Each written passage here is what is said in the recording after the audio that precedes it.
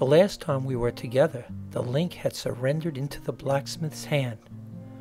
And now for the conclusion of changing a chain.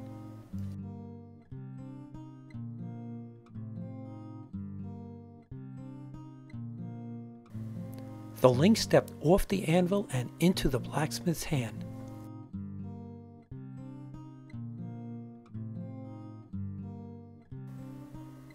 Using a pair of tongs, the blacksmith picked up the link.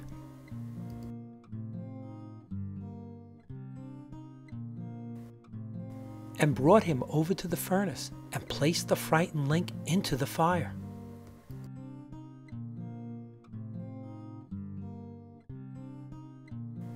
When it was time, the blacksmith removed the link from the fire. He then brought him over to the anvil, and with one of the hammers he began reshaping the link. The link didn't like what it had to go through, but remembered what the blacksmith had promised.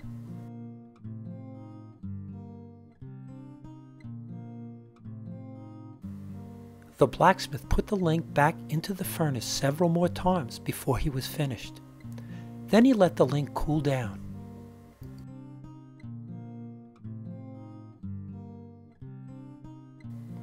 After a while, he polished him until the link shone brighter than before.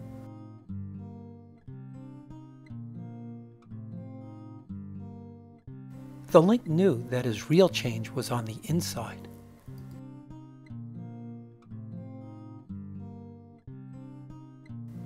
Before the link returned to the chain, he asked why the other links rusted so easily. The blacksmith said, Some don't want to go through the fire as long as necessary.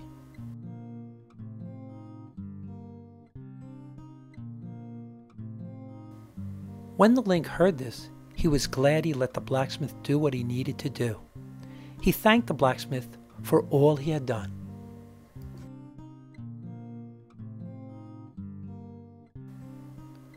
Later, when the link arrived back at the rusty chain, it reconnected.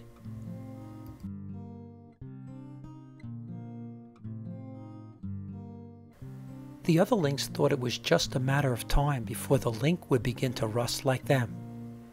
After a while, they realized they were wrong.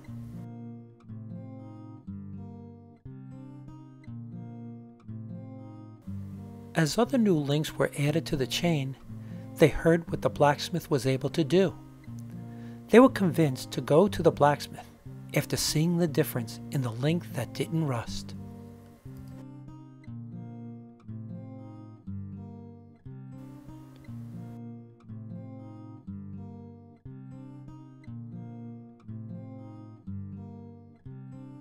Some of the rusty links liked what the blacksmith had done to those new links. So they decided to go to the blacksmith. Yes, they had the desire to change also.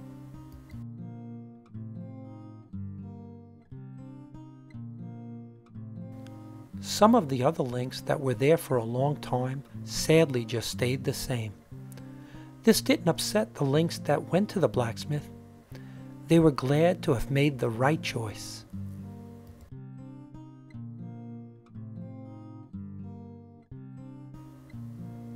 And besides, those links were aware that over the years, the rusty links would eventually fall off.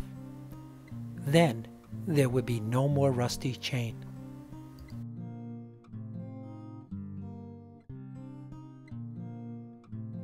Let the change begin with you.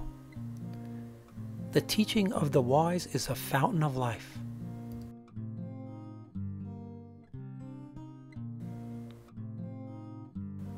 For more stories by the storyteller, go to www.joeystory.com.